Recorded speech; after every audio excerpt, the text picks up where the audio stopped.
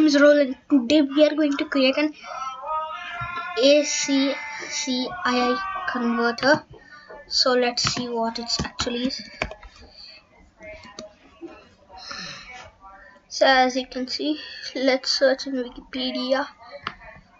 I was scrolling through YouTube and found about this. So, oh my god, seriously, bro. Why not? Let me show you what's A C C I.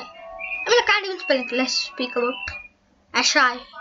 Okay, anyway, I don't care about it. Ashai. Today we are going to create an Ashai converter, and uh, this is the code. I mean, literally, it's so small.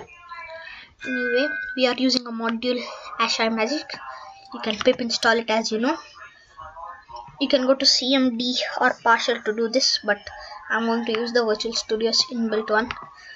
Pip install Ashai underscore magic.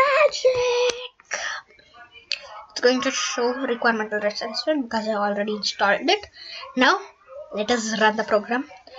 Oh guys, I just forgot to tell, but um, Rangon Almighty is no more. I'm a hundred percent sucker now. And now we are going to be converting our new logo to Ashai. So let's run this. I'm not Lokesh Gamer. Oh, I mean, just look at that man. Seriously, look at that. 100% sucker. That's me. Anyway, thanks for watching our video. If you like this video, like, share, and subscribe. And the source code in the is in the link in the description below. Okay. Oh my god, that was nice.